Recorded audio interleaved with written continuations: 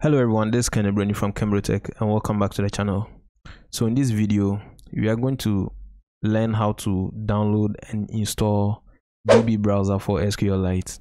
Now this is a very simple download process we are going to learn using a Windows machine.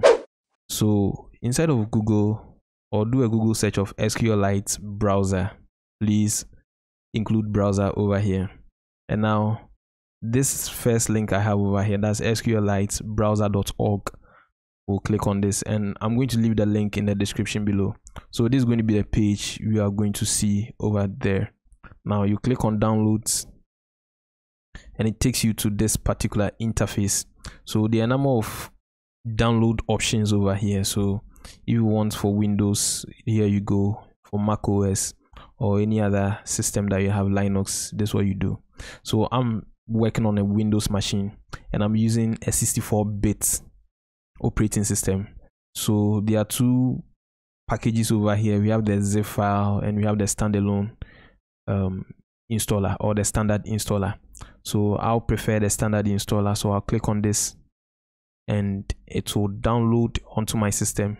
And that's what you see downloading over. It's a very small file about 17 megabytes and once the download is complete we'll do the installation.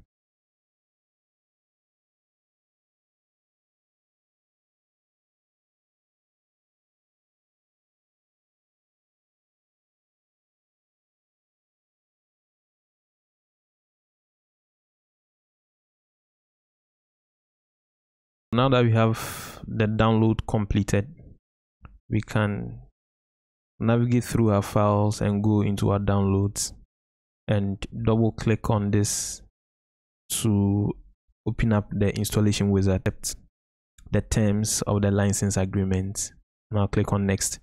And what i need over here is i need an icon for the desktop and also one in the programs menu. I don't need what i have over here the SQLCipher.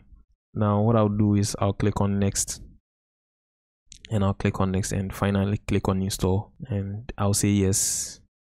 And the installation will be through. So at this point the installation is complete. And when I go into my desktop you can see that I have this over here DB browser.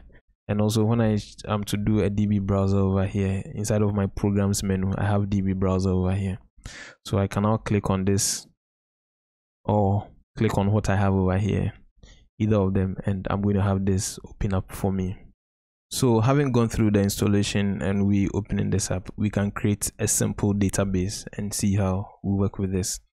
Now I'm not going so much into the whole DB browser for SQLite, but then I just want to show you this because I have a video on Flask where we'll be using this for our database interactivity.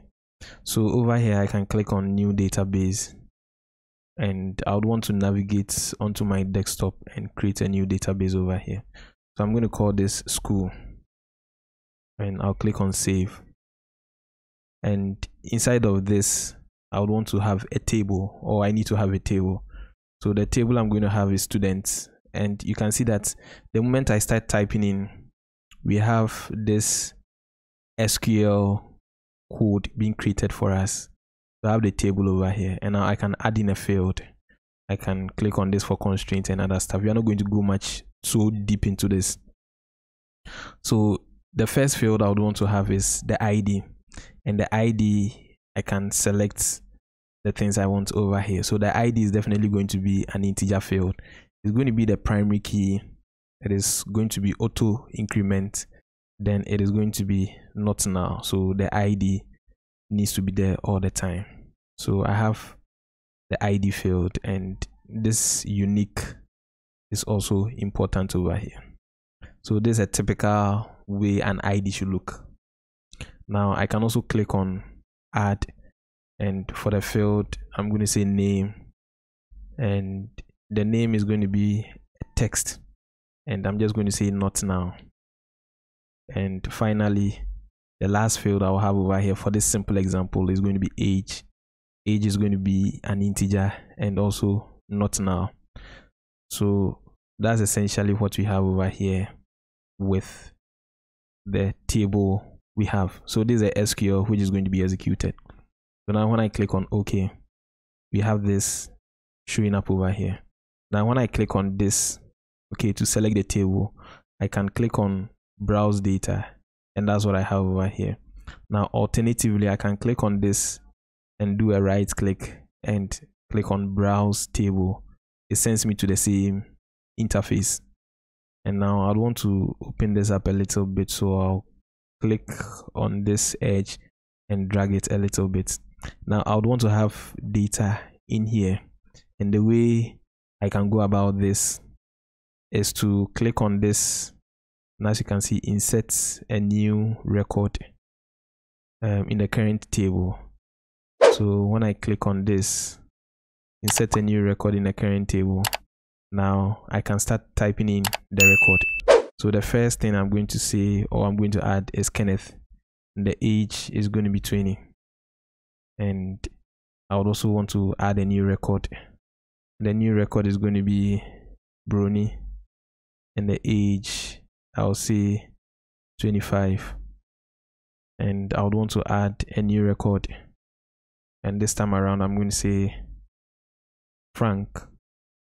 And Frank is 20 and last but not the least I would want to add another record.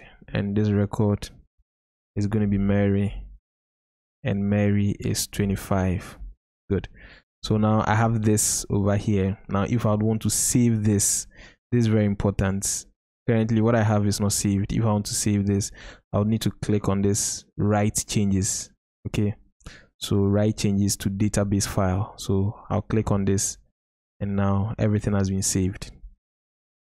Now if I'm to go back and click on my database structure and click on this and browse table, I have this table over here. So this is looking great. Now one of the things or one of the last things I would want to show is where we have this execute SQL.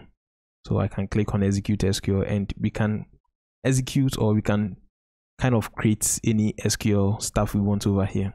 So I want to query this database so I can write in the basic SQL that I know. So select star, which is all from, and I would want to select it from the students table. So when I do this, and now click on this execute all you can see that I have this. Let me once again open this up a little bit.